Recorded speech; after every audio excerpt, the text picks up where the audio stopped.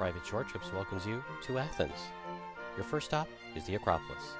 Here you'll climb the smooth marble steps along the sacred way to the Propylaea before reaching the foremost symbol of the glory of ancient Greece, the Parthenon. It's considered to be the most perfect example of classical architecture in the world. Other monuments include the Erechtheum, with its porch of maidens. You'll also look down at the restored Roman theater of Herod Atticus. Next, you're off on a driving tour to see the top sights of the city. This includes a visit to Constitution Square, where the elite soldiers stand guard over the tomb of the unknown soldier. Afterwards, you may choose to visit the famous Plaka district for some free time and shopping, or round out your tour with a visit to the National Archaeological Museum, which houses some of the world's best examples of Greek sculpture and antiquity. Of course, we can also help you customize a tour to your interests. We look forward to welcoming you in Athens.